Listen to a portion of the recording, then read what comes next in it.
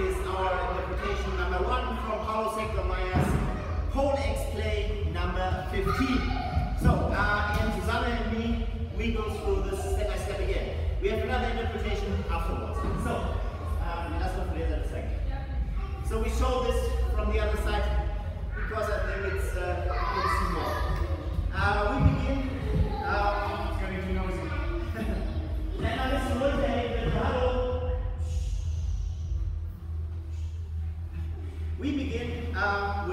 Uh, crossed arms on the one side.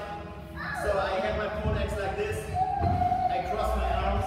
And now you see my X plate is up. And what I can do from here, she's going with a more power for me.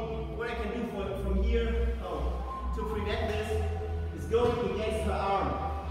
And from here, she is fucked. so she can't move her arm anymore. But I can control that pretty good. So uh, that's uh, step number one. If I want to do this, um, she realizes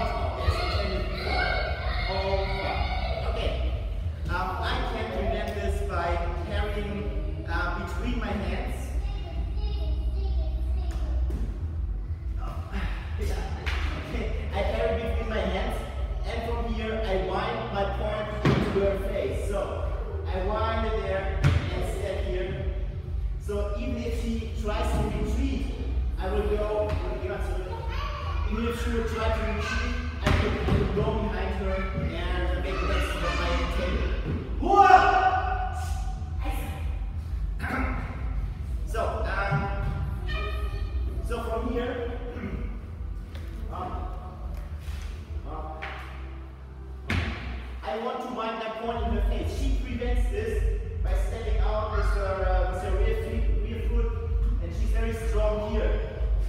So I use this force she gives me, and I step back and go with my with my blade for her uh, for her ankle, or I can I can go here. I can hook in and pull her. and um, well, yeah, but if you if you cut through it, it's maybe better. So that's version number one, which we have. And now we have another version which is more into infight. So with Fabian and Ansgar. Right. So what we figured out, so we started with a little bit different, um, because I'm I'm staying much lower than Christian showed before. So when I go into him, I'm, I'm very deep with my standing. That from his position and strikes from above, I have still a very weak point and very stable at this point, but when I get up now and do this step, I'm nearly overrun him. And if I go there to his face, the only point he has, he can't push me by his side because I'm very strong. I stand beside him. He just could use his short end from his back end and push me away. Which opened him from his backside. I go around, catch his leg, step out, and pull him down.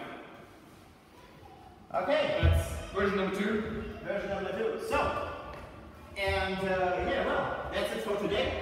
Uh, thank you, Susanne. Thank you, Ansgar. Thank you, Fabian. Thank you, Christian. And of course, thank you for watching.